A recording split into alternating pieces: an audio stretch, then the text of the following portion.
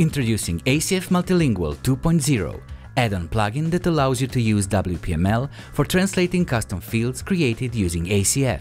This version brings a whole new interface that makes translating your custom ACF fields a breeze. Let me show you. Let's start with setting the translation preferences for your ACF fields. Previously, you had to go to the WPML settings page, scroll to the section for custom fields and manually set the translation option for each of your ACF fields. Of course, you also needed to know exactly what each of these options mean and which ones are best for the given field type. And now it's super easy. Simply edit your field group in ACF and select one of two pre-configured translation modes. That's all!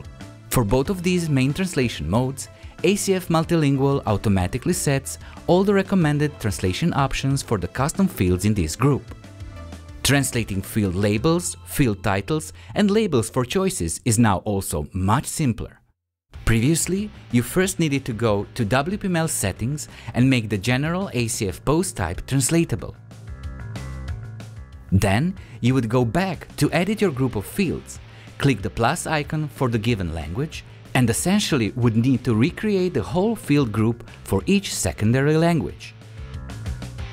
And now it's all so much easier.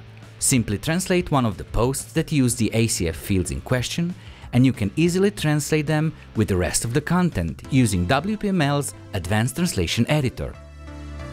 Alternatively, you can go to WPML String Translation, select the ACF field group domain and all your field titles, labels and labels for choices will be available there for translation. Finally, we did many improvements to the user interface. It now guides you through the process of setting up the translation of your ACF-powered site.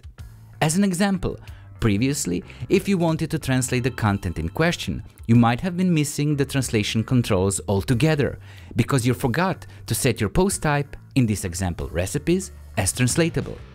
Now, when you're setting up your group of ACF fields and select the translation mode, if the related post type is not translatable, ACF Multilingual will warn you about this and take you directly to the settings section where you need to fix this. As you can see, ACF Multilingual 2.0 helps you easily translate your ACF-powered sites with WPML. And this was only a quick introduction.